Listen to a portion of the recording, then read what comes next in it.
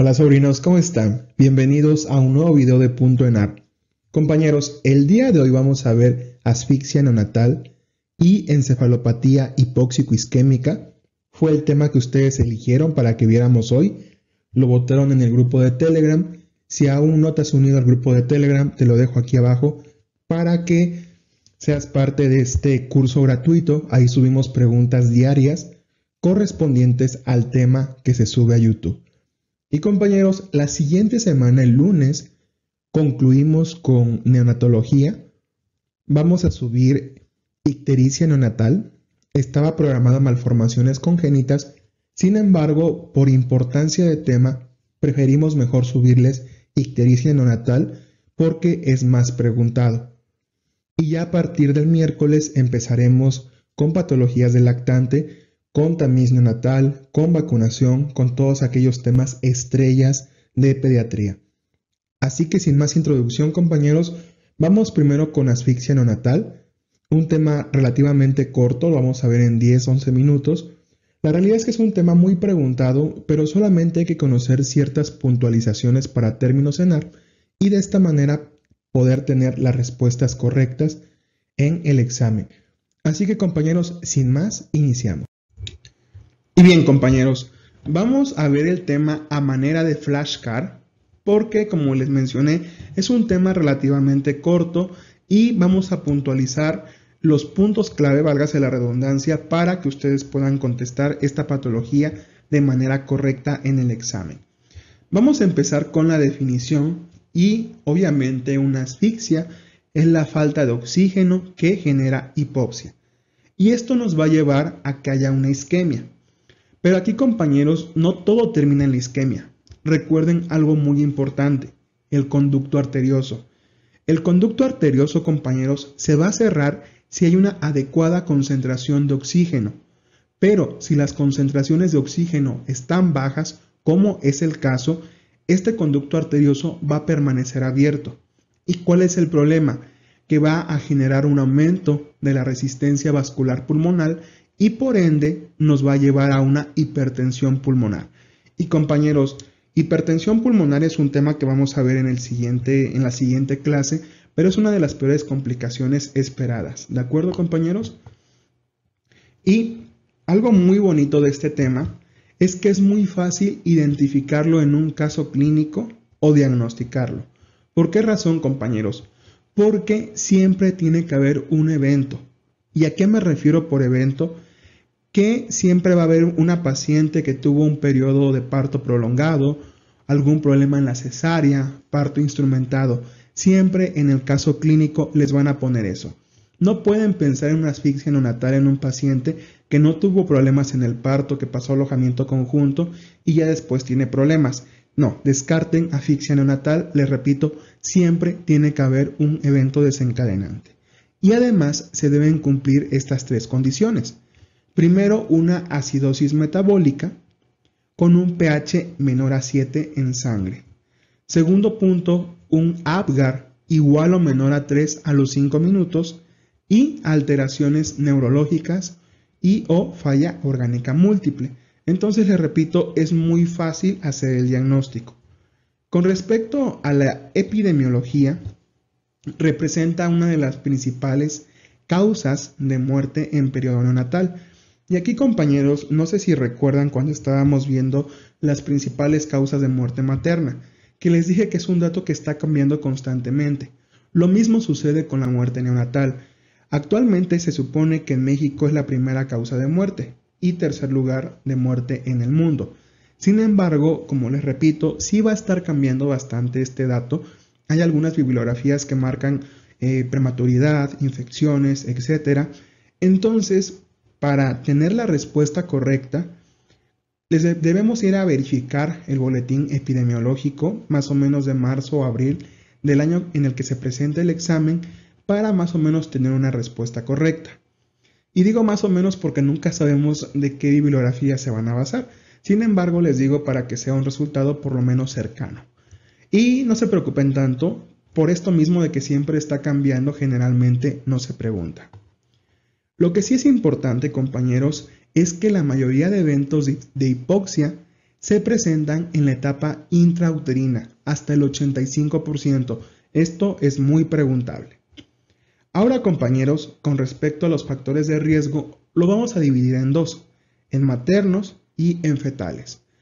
Con los maternos compañeros tenemos las hemorragias del tercer trimestre, que aquí pueden entrar en factores uteroplacentarios, principalmente compañeros la basa previa. Recuerden que una madre que padece basa previa, el 75% de los productos van a fallecer porque se corta la circulación materno-fetal y obviamente hay asfixia. Entonces es uno de los principales factores de riesgo, pero también tiene mucho que ver una ruptura uterina, un desprendimiento placentario y en menor medida una placenta previa. ¿De acuerdo compañeros? Otro factor muy importante que no hemos visto, pero pues nos va a preguntar como tal, son los nudos de cordón. Porque pues estos pueden tapar la circulación materna y pues generar una hipoxia. ¿De acuerdo compañeros? Y con respecto a los fetales, tenemos retraso del crecimiento intrauterino, bajo peso, un dato clave, prematuridad. Tristemente, la mayoría de patologías neonatales se relacionan a la prematuridad, alteraciones de la frecuencia cardíaca fetal y macrosomía. Y bien compañeros, con la parte del cuadro clínico vamos a dividir los síntomas en dos, de aparición temprana y de aparición tardía. Y entre estos compañeros tenemos síntomas mixtos, es decir, que pueden aparecer de manera temprana o tardía. Y estos son los más importantes. Ahora les explico por qué. Empezamos con los de aparición temprana, que es dificultad para iniciar y mantener respiración. Y aquí me pueden preguntar cómo hago un diagnóstico diferencial de un paciente que tiene algunos problemas respiratorios. Fácil. Identificar factores de riesgo. Generalmente pacientes que tengan problemas respiratorios van a ser prematuros como la enfermedad de membrana hialina o van a ser postérminos como algún problema de síndrome de aspiración de meconio, ¿de acuerdo? Y como ya lo había mencionado, en caso de asfixia neonatal siempre tiene que haber un evento. Entonces les van a poner, hubo un parto prolongado, hubo una extracción con forceps y es una manera de identificarlos. Además de que cuando hay asfixia siempre se va a acompañar por una depresión del tono muscular y de los reflejos. Además de que pueden haber datos de falla multisistémica, cosa que no pasa en algunos problemas respiratorios. Ya lo veremos en el siguiente tema, no se preocupen por esa parte. Lo que sí tienen que conocer, compañeros, a la perfección son los datos de aparición temprana o tardía. ¿Por qué razón? Porque estos tres primeros, la alteración del estado de alerta, las crisis convulsivas y la intolerancia a la vía oral, siempre son datos que ponen en los casos clínicos. Les van a poner a un paciente con el evento, que ya mencioné ejemplos, y también les van a decir, empieza con convulsiones, empieza con tolerancia a la vía oral, empieza letárgico. Entonces, de esa manera va a ser muy simple que ustedes puedan llegar al diagnóstico de asfixia neonatal. Con respecto a los de aparición tardía, no es tan necesario que los memoricen. Tenemos sangrado de tubo digestivo, sangrado pulmonar, etc. Y compañeros, no se preocupen por memorizárselos tal cual, saber cuáles son los de aparición temprana o de aparición tardía. Simplemente conocerlos, entenderlos, para que cuando se nos pongan en un caso clínico los podamos identificar. Con respecto al diagnóstico, compañeros, ya se los había mencionado en la anterior diapositiva, recuerden que debemos tener tres factores o tres puntos a considerar para llegar al diagnóstico de esta patología. Un pH menor a 7, obviamente hay que tomar una gasometría, hacer la evaluación del APGAR, un APGAR menor a 3 a los 5 minutos, e identificar signos de daño neurológico o de daño orgánico sistémico. ¿De acuerdo? Y con la parte del tratamiento, pues obviamente si se requiere, hacemos reanimación neonatal. Si no, también podemos dar asistencia ventilatoria del recién nacido asfixiado. Y finalmente, compañeros, algo que se utiliza bastante es la neuroprotección. La neuroprotección la hacemos con una hipotermia terapéutica. ¿En qué consiste esto? En enfriar al paciente, como su nombre lo dice. Lo vamos a mantener en un estado de hipotermia, 35, 35.5 grados, Esto con la finalidad de que no se activen las cascadas inflamatorias y de esta manera el daño de la asfixia no sea tan grave. Bien compañeros, vamos al caso clínico. Se obtiene por vía cesárea recién nacido de 34.5 semanas de gestación por capurro. Aquí compañeros, la parte de prematurez no es tan importante para un tema de asfixia. Pueden ser recién nacidos prematuros, pueden ser recién nacidos a término. Aquí lo importante va a ser identificar el evento. Entonces, esto no va a influir en nuestro diagnóstico. Es un paciente que está cianótico, flácido, llanto débil, respiración irregular y frecuencia cardíaca de 90. Y aquí compañeros, hasta aquí podríamos sacar ya el APGAR. Tenemos cianótico 0, flácido 0, llanto débil 1, respiración irregular 1, frecuencia cardíaca 1, entonces tendríamos 3 puntos de APGAR. Después nos dice aleteo nasal intenso y quejido expiratorio leve, se realizan pasos iniciales. Hasta aquí, compañeros, podríamos sacar también el Silverman, que tiene dos de aleteo nasal y uno de quejido expiratorio leve. Entonces, tiene tres de Apgar y tres de Silverman, ¿de acuerdo? Seguramente tendrá más de, de Silverman, pero no ponen más datos. Se realizan pasos iniciales de reanimación neonatal y se manda gasometría arterial de cordón umbilical encontrando un pH de 6.9 Posteriormente comienza con convulsiones. Y aquí compañeros, aunque no se cumple la regla que tanto les comenté de, identificar el evento, pues sí les están poniendo un, caso clínico típico. Es un paciente este, hipotónico que tiene ya datos de dificultad respiratoria, tiene un pH de 6.9, se cumple uno de los tres criterios. El segundo criterio es el de Apgar, tiene tres puntos de Apgar. Entonces ahí tenemos dos criterios y comienza con convulsiones. Ahí está el tercer criterio, compañeros. Entonces, obviamente es una asfixia neonatal. ¿Qué Apgar tiene el paciente? Ya lo habíamos sacado, la respuesta es 3. ¿En qué etapa se presentan la mayoría de los eventos de asfixia neonatal?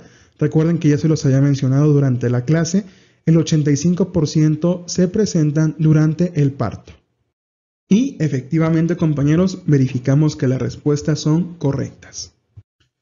Concluimos con los puntos en ARP, compañeros. De baja dificultad, algo que es importante mencionar con respecto al manejo es que debemos evitar la hipertermia, la hipoglucemia y la hipocapnia, ¿de acuerdo? La etapa más frecuente de aparición de hipoxia es durante el parto, ya lo habíamos mencionado. Los eventos de asfixia ocurren aproximadamente 5% antes del inicio de parto 85% durante el parto y 10% restante durante el periodo neonatal. Por eso es la insistencia de que siempre identifiquen el evento, porque aquí está el 85% de los casos. De dificultad media, compañeros, siempre es importante solicitar un ultrasonido Doppler para la evaluación de embarazos de alto riesgo, preeclampsia por el tema de algún eh, desprendimiento abrupto de placenta, restricción del crecimiento uterino, anemia fetal y presencia de anomalías del cordón umbilical. Recuerden que habíamos mencionado que un nudo de cordón puede ser un factor de riesgo para que el paciente curse o sufra asfixia. Las alteraciones neurológicas se presentan cuando el déficit de base es entre 10 y 12. Hay un dato random del área de práctica clínica. Y de alta dificultad, compañeros. El perfil biofísico lo usan los obstetras para identificar a los recién nacidos de alto riesgo y determinar la vía de nacimiento más segura. Puede ser pregunta de NAR. Se llama perfil biofísico para identificar recién nacidos de alto riesgo. Una puntuación de 8 a 10 es normal y menos de 6 es considerada anormal, entonces probablemente se considere el uso de cesárea. Y bien, compañeros, ya para concluir vamos con encefalopatía hipóxico-isquémica, un tema cuatro estrellas, un tema también preguntado, obviamente es una complicación de la asfixia neonatal, así que vamos a verlo. Y bien, compañeros, recuerden que la encefalopatía hipóxico-isquémica es una complicación de asfixia neonatal. Tristemente, compañeros, es una complicación bastante grave.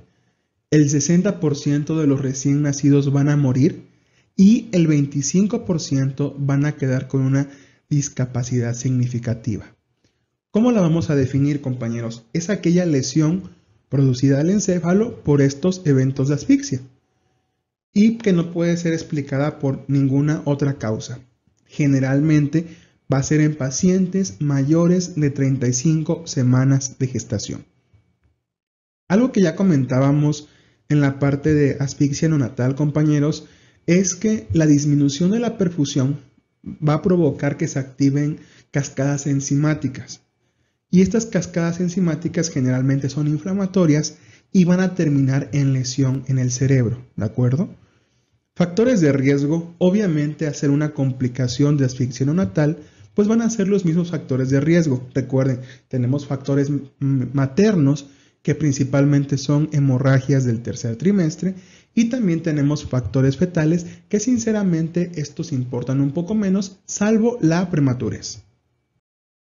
La parte del cuadro clínico, compañeros, es muy similar a la de la asfixia neonatal.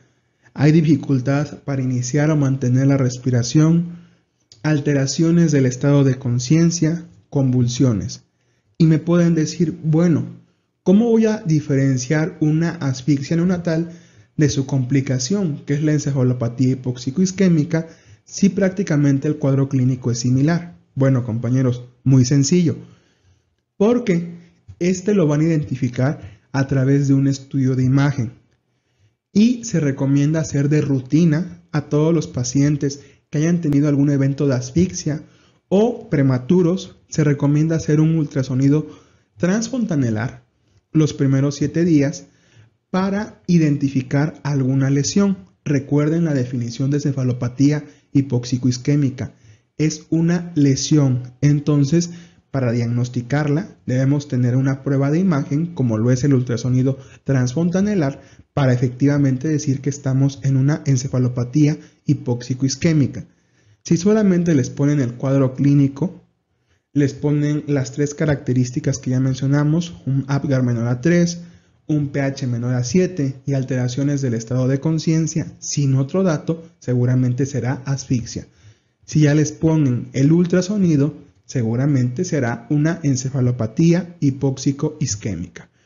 Y compañeros, hay una escala, se llama escala de Sarnat, que divide tres etapas la encefalopatía hipóxico-isquémica. Sinceramente, no es necesario que la memoricen, solo recordar el nombre, escala de Sarnat, y que divide en tres etapas, dependiendo a su nivel del estado de alerta, generalmente, yo así es que las identifico. Etapa 1, el paciente está alerta. Etapa 2, está letárgico.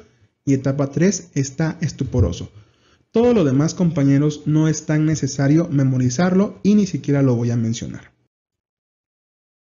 El diagnóstico, compañeros, ya mencionamos, tiene que haber eventos también. Eventos que hayan llevado a una asfixia y la asfixia nos lleven a esta complicación, a la encefalopatía hipóxico-isquémica. Y de nuevo, si se dan cuenta, tenemos los tres parámetros, que es el pH menor a 7, el Apgar menor a 3 y las alteraciones neurológicas. Recuerden este punto importante, compañeros, la escala de Sarnat. Tratamiento similar, compañeros, similar. Vamos a hacer una reanimación neonatal, vamos a dar asistencia ventilatoria al recién nacido, vamos a dar neuroprotección con hipotermia terapéutica, ya lo mencionamos, y se pueden dar anticonvulsivos. Y antes de concluir, compañeros, quise también agregar la hemorragia de la matriz germinal, que digamos que es una enfermedad equivalente a la encefalopatía hipóxico-isquémica, es secundaria a una asfixia, sin embargo, esta va a ser en pacientes menores de 32 semanas de gestación y la encefalopatía hipóxico-isquémica generalmente es después de las 35 semanas. Entonces va a ser la manera en que la puedan diferenciar, ¿de acuerdo? Ambas son complicaciones de asfixia. Recordar que la hemorragia es antes de la semana 32 y la encefalopatía después de la semana 35. Y bueno, compañeros, ¿por qué la matriz germinal es propia de partos menores de 32 semanas de gestación. Por una razón, compañeros, que la matriz germinal desaparece o mejor dicho, completa su regresión a las 32 semanas de gestación. Entonces después no va a haber ningún problema. Pero ¿qué es la matriz germinal, compañeros? La matriz germinal, digamos que es una estructura de soporte que va a recubrir el sistema ventricular y va a ayudar a la formación de neuronas. Les repito, eh, completa su regresión antes de la semana 32. Factores de riesgo, obviamente prematurez menores de 32 semanas de gestación, después ya es muy poco probable que tengamos esta patología. Peso menor a 1500 gramos y síndrome de dificultad respiratoria. Al igual que en encefalopatía hipóxico-isquémica, compañeros, se recomienda un ultrasonido transfontanelar para identificar la hemorragia, ¿de acuerdo? Y para esta hemorragia tenemos dos clasificaciones, la de papile y la de Volpe. La que más se va a preguntar es la de Volpe, aunque las, la verdad es que las dos son similares. La de Volpe nos dice que un estadio 1 va a ser menos del 10% de hemorragia, un estadio 2, 2 perdón, del 10 al 50%, un estadio 3 más del 50% y un estadio 4 prácticamente cubre toda la matriz germinal. ¿De acuerdo compañeros? Y un punto muy importante es que cuando demos el esquema de maduración pulmonar con beta-metasona también va a servir para reducir la incidencia de hemorragia de matriz germinal. Y bueno compañeros, con eso acabamos el tema. Vamos a los puntos en AR. De baja dificultad, la mayoría de hemorragias cerebrales ocurren entre las 72 horas y los primeros 7 días de vida. Es por esta razón, compañeros, que a todos los pacientes que tengan el antecedente de asfixia se les tiene que hacer un ultrasonido transfontanelar. En prematuros es la hemorragia de matriz germinal en un 90% mientras que en recién nacido a términos es la hemorragia de plexos coroideos por asfixia neonatal, la encefalopatía hipóxico-isquémica. La prematurez es el principal factor de riesgo y las principales secuelas, compañeros, es parálisis cerebral, dificultades en el aprendizaje, alteraciones visuales y epilepsia. La terapia hipotérmica es el manejo de elección y algo muy importante, compañeros, la única indicación de anticonvulsivos es el tratamiento de crisis convulsivas frecuentes. No pueden dar un anticonvulsivo profiláctico, por así decirlo, ¿de acuerdo? Tiene que ya haber crisis convulsivas frecuentes. ¿Qué vamos a dar? Fenobarbital. Es el de primera elección. De segunda elección podemos utilizar lorazepam generalmente. Les repito, no se hace de manera rutinaria como profilaxis, sino ya hasta que haya crisis convulsivas frecuentes. Y el de elección es el fenobarbital. Muchas gracias compañeros por quedarse hasta el final del video. Si les está gustando el curso, si les están gustando nuestros videos, por favor compártanos en nuestras redes, compartan el link del grupo de estudio a sus compañeros, a sus amigos que vayan a presentar el ENARP para que este proyecto siga creciendo. Estamos muy felices, ya pasamos los 5.000 alumnos en Telegram, ya casi somos 30.000 en Twitter. Este proyecto está creciendo gracias a ustedes, compañeros. Y entre más crezcamos, pues más sorpresas habrá. Así que, compañeros, muchas gracias. Nos estamos viendo.